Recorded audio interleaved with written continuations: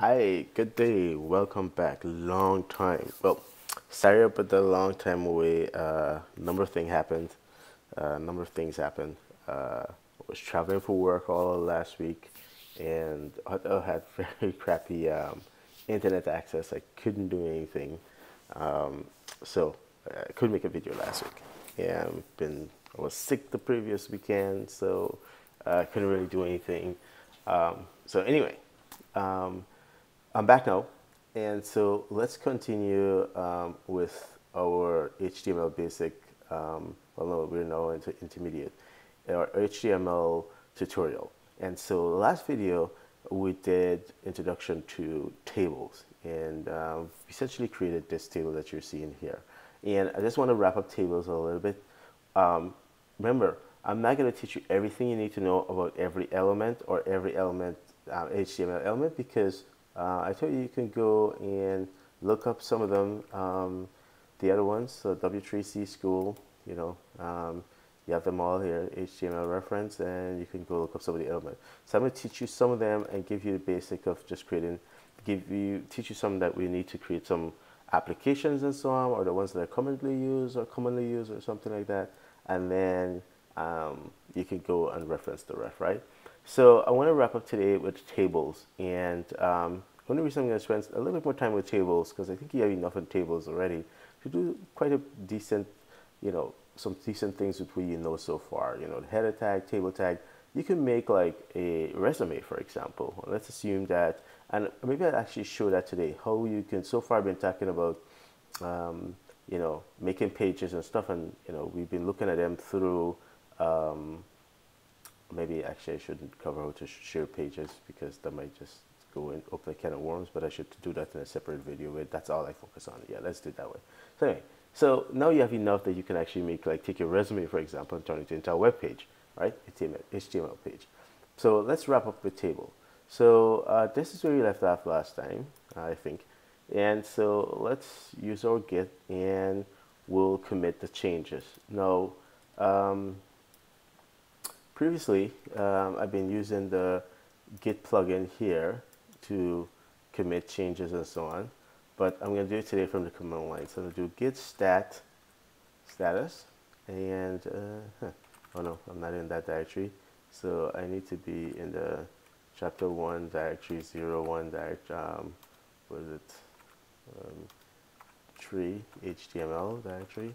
I'm going to git status uh, git status and it's says so intermediate some changes that we um, we didn't um, you know we need to um, status.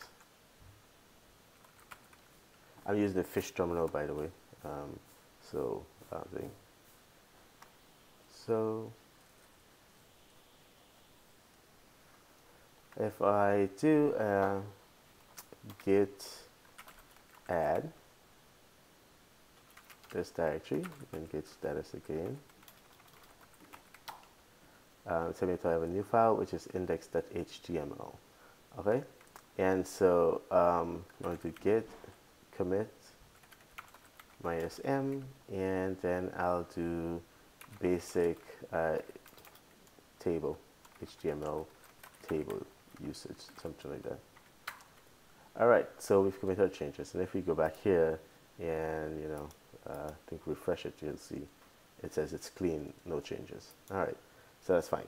All right, so let's um, now continue. So I'm going to copy all this and paste over it a table I've been working on so you don't have to waste time seeing me typing it.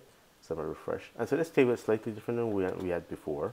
Um, slightly different only in that uh, I removed the social security, last four digits social security number column and added a three, replace it with three columns, right? Telephone home, telephone mobile, and telephone work. And so here they are. So let's say, and so you can create a table, right? There's nothing new here compared to what we've done before. I Just have three more columns, and you know, replace the one I had before, but nothing new for what we've done from what we've done before. But let's say we wanted to have one heading that span these three um, columns, right? Because these are, this is just telephone home, telephone mobile, telephone work. Suppose I just want to call these three columns across here telephone, and then maybe I put something in here that says home, work, you know, mobile work, and so on. So, uh, and then if somebody doesn't have a field, then no big deal, right? But and it would be no big deal if they didn't have a field here too, right? We could leave it empty. Um, so let's just take out this, for example, and we should see, you know, that's empty is not a problem, right? So, um, but just to make our table look kind of nice, we'll, we'll put it back. All right. So, but what we want to do is change the heading. So there's something called column span. And so what we can say is we want, this is, let's call this column one, column two, column three, column three to span three columns. Why would column three span three columns? Because if this is the third column, it's going to span column this one, this one, and this one. Okay, so if it span two columns, it would span these two. Three column, it would obviously span these three. So let's say that. Let's say the third column, which is first, second, so first column, second column, third column, which is this one that started with telephone home. We want this guy not to be telephone home.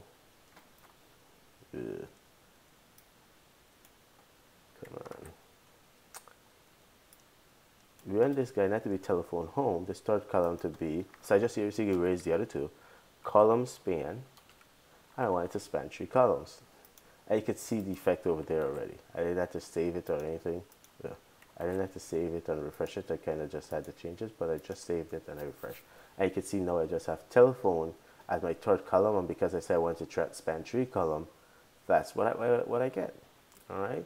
So if you don't put column span, you know, it just fills in as normal. But if you put column span, then yes, you have this. So what happens if I take out this? Well, if I take out that, I save it and refresh. I don't have to refresh. You could see what's happening. Those it's almost like these, the extra cells for each rows just don't have a corresponding column header. And that's exactly what we have here. We don't have a column header for it. But we put the span in there, they do. All right. So hopefully that's clear and that's not too hard to, to grasp. We can go with row spanning, right? We could say that oh, we want to put our our headings here as the first column. So we have name, age, telephone, and then going across would be the value, the corresponding value. So it'd be first column is the name of the field or heading, and then the second column would be its value, right? And we could do it that way. So let's like try and create that table. So if we were creating that table, uh, the first row would be, you know, name, and then it would be John Doe is uh, the, the next value. So that would form come here, right? Then table row. Then you start another one, table row. And my, my former formatting is a bit messed up. And you'd have age, right? Um, and this doesn't work well for multiple um, thing, but let's just say that's what we, that's exactly, this is what we wanted. We wanted to have the name, let's see what we're looking like. It's going to look a little confusing at first. We want to have name and John Doe. Then we want to have age and 33, right? So, We'll take that, we put that here.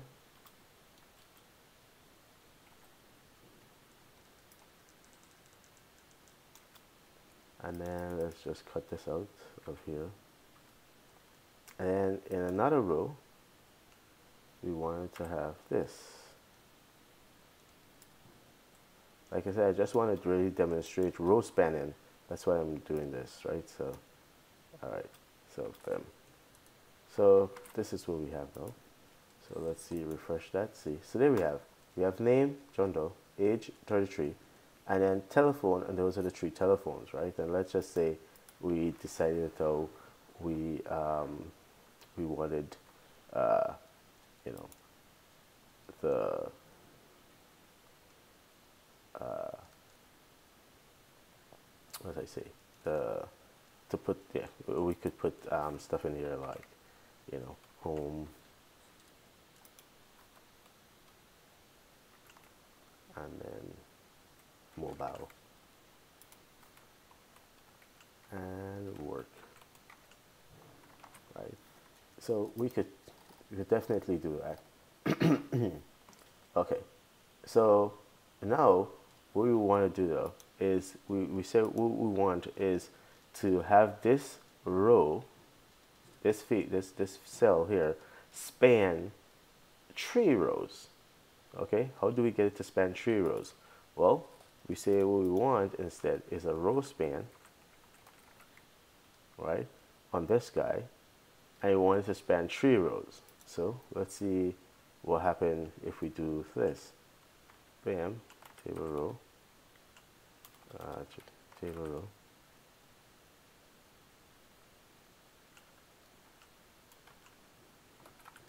table row and let's go take a look and see what we have. So we have telephone and a value there. And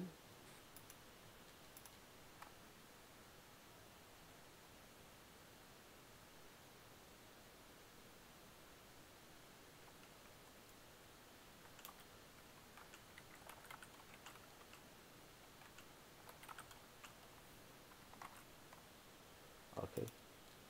So we have that. So Come on. Uh, let me save my changes. Refresh. Alright, there we go. Alright, so I got I have what I want now. So because I said I said that oh, this cell spans tree row, it's almost as if there's a empty value somehow being for each row there's some empty table data cell being reserved for this guy because it spans three rows and then this becomes the into the next goes into the second column right because this is you guys said this is reserving the first column in each row for the next rows right for the rows it, it's defined in so it's reserving a, the first column a space in the first column here, a space in the first column here, a space in the first column here, and this becomes the second column's value. Even though you could see in this row, there's only one column value specified, right? But because this guy spans three, it kind of takes up, you know, the first space. Does that make sense? I know it's kind of probably hard to explain that way, but it's literally spanning or expanding or stretches across um, thing. And let me see if there's a, a way for me to illustrate this. Um, if I, what if I did it this way? Um, so um, let's create a spreadsheet and I create a blank spreadsheet. And your table really look like a spreadsheet okay? And so we had those cells before you know we had things going across here. And when we said span we're doing is expand we, we're, we're a row span. We're saying this cell the value here. So let's say we had telephone here. We had telephone here. We're saying now that telephone spans three rows right? So if it spans three rows you could see it span row two, three, and four. And here in um, these, in your spreadsheet, there's a way to specify this. You highlight the things you, the rows you want, and then you go to one of these format thing or something, and you say merge, right? You say merge those rows. So let's see if I have that here. Edit, and there's a way to say merge. Now it's in Excel. It says merge. Here in uh, you know, Apple's, uh, yeah, merge cell, okay? So now when I merge cell, you see what happened? Take out the line from in between. And so the only reason it doesn't show up properly is because this is not centered, but I could say align center. Um, hmm. um, I'm looking for the thing that would tell me to align it to the center. Um, anyway, so basically that's that's that's the gist of it. Um, it's because I can't align center vertically, that's why. But if I could align center vertically, then uh, you'd see that, uh, yeah, it, it's just taking that, those three um, thing. And you could do the same thing going across here too. I could put something here let, let's say um, name uh, telephone again and then I could select three columns this time and then I could say merge. And now you see it took out the line and it's and it's uh, it's treating it like one longer column okay? That went across here here and there. All right so I, I hope that kind of illustrate illustrates how to use uh, let me this how to use um, column span and row span. So we did just now row span and prior to that we did a column span and you can go on W3C's Google and look at example for the table tag and to do column span and row span and or you could just stop this type it play with it a little bit if it seems confusing to get a hang of it. Um, again don't spend too too much time on it because we're not going to use tables a whole lot but it's nice to know okay? All right so so that's tables and I wanted to finish up with that uh, and so we're done with tables. Um, any, any other funky things you can do with tables we'll pick it up as we go. All right. Thanks a lot for your time and see you in the next video. Bye. Oh before I go let's let's do this. Let's be a good citizen and um, commit our changes. So I'm gonna go here. I'm gonna say save it. And then I'll go to the command line and do git status.